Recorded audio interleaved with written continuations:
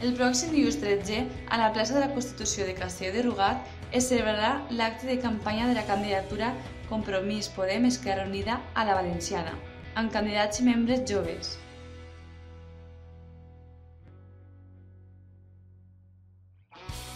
Ignasi Candela, candidat al Congrés y creador del Acuerdo del Prado en la pasada legislatura.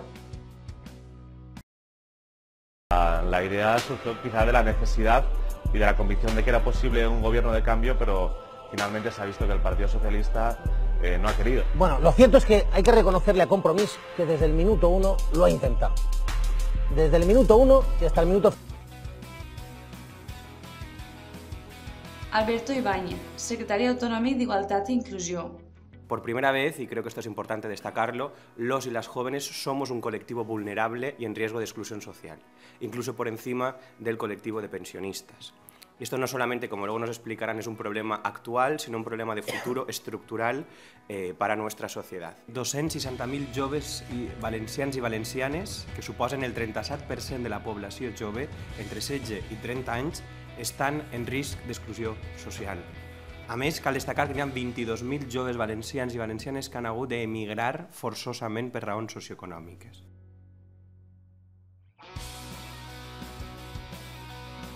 Marian Campello, diputada de les Corts Valencianes.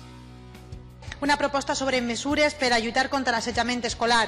L'assetjament escolar, més enllà de xifres i d'estudis, es podria resumir en una paraula, infern els xiquets i les xiquetes, adolescents i joves que, que pateixen assetjament viuen en un infern del qual no saben com eixir.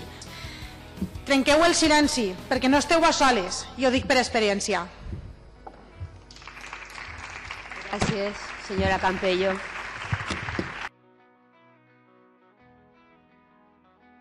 Esther López, exdiputada de les Corts que se lleva urdiendo desde hace años en despachos por parte de la señora Castedo y del señor Ortiz para conseguir unos 100 millones de euros de beneficios para el empresario de cabecera del Ayuntamiento de Alicante, el señor Enrique Ortiz. No se atreve nadie de la bancada popular a referirse directamente a la señora Castedo, porque hasta el señor Fabra tuvo que decir a un medio de comunicación que le avergonzaba en las conversaciones que habían salido a la luz, pero no se atreve nadie aquí a pedirle la dimisión ni a cuestionarla. Pasqual San Juan, regidor i portaveu de Compromís per Castelló de Rugat. Eh, fa uns anys, tot el rebombori de la Fórmula 1, l'America etc etc, Brita, Camp, es veien que anaven a posar València en el mapa. Ara podríem dir que ho han aconseguit. Tot els dies apareix València les notícies, absolutament tots, però amb una nova trama de blanqueig de capital o financiació il·legal. Des de compromís a les Corts mai vàrem acatxar el cap, i mirant-nos als ulls es van dir corruptes a la cara.